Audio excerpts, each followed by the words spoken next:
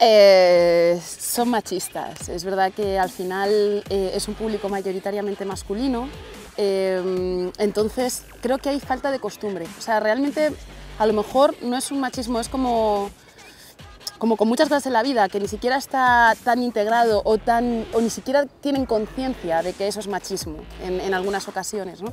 pero, pero bueno, para eso estamos, para cambiar las cosas. De momento estamos viendo mujeres participar y cada vez más. Y además yo, a mí me encantaría ver a mujeres ganando porque creo que justo es una lucha en, la que estamos en el, mismo, en el mismo nivel, o sea, no hay una cuestión de fuerza, que los chicos pueden tener más fuerza que las chicas para determinados ejercicios o tal. Esto es una cuestión mental y de agilidad mental, entonces yo creo que las mujeres podrían hacer muy buen espectáculo, pero hay menos costumbre y hasta ahora la mujer en el mundo del hip hop ha tomado más el, el papel de acompañante de un tío.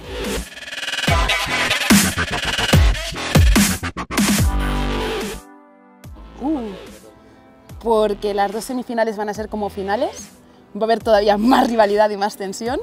Eh, aparte voy a estar yo, lo cual está muy bien. Eh, hay un nivel altísimo este año, hay muchos gallos que tienen muchas posibilidades y yo estoy, con, bueno, personalmente me muero de ganas de vivirlo porque va a ser distinto.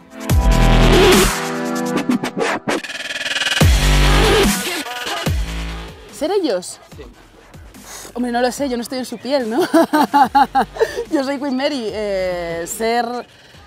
Yo creo que tienen un, cerebro privilegiado, ¿eh? que hacer impro tampoco es fácil y ellos lo tienen ya metido en la cabeza. Entonces me parece que son un poco extraterrestres, la verdad.